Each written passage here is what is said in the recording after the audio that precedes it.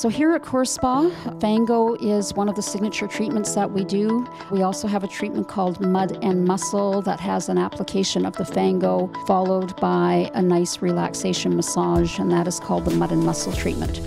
Fango is a volcanic ash that we have here at the spa that is mixed with warm water to make a nice warm buttery mixture.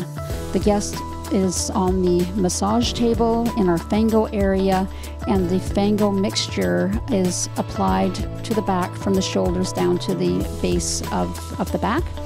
And this allows both a light exfoliation of the skin of the back and it also promotes deep relaxation within the muscles in order to prepare the body for massage. This is also a detoxifying and remineralizing treatment as well, and so we would also use this for a number of our packages uh, that we do. We will pretty much always do this in our whole body wellness as well as our detox package because it's a very detoxifying treatment.